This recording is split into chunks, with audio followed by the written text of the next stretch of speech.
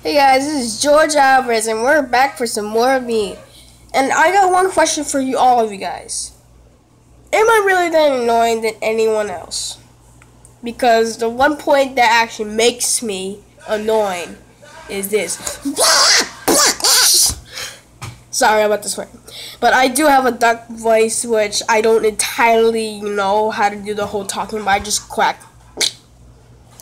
So, am I really that annoying? So link the comments below if you think I'm really annoying.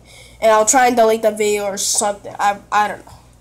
But it's been a while I've been making some videos. I I, I do do Musical.ly.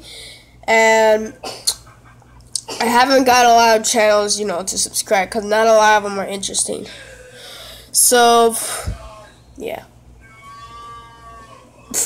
Yeah, so I'm home alone because I'm sick.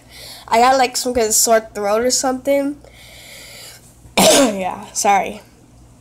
Yeah, so am I really that annoying? Ask yourself or ask me. Link the comments below and I'll and I will um, reply them if I can.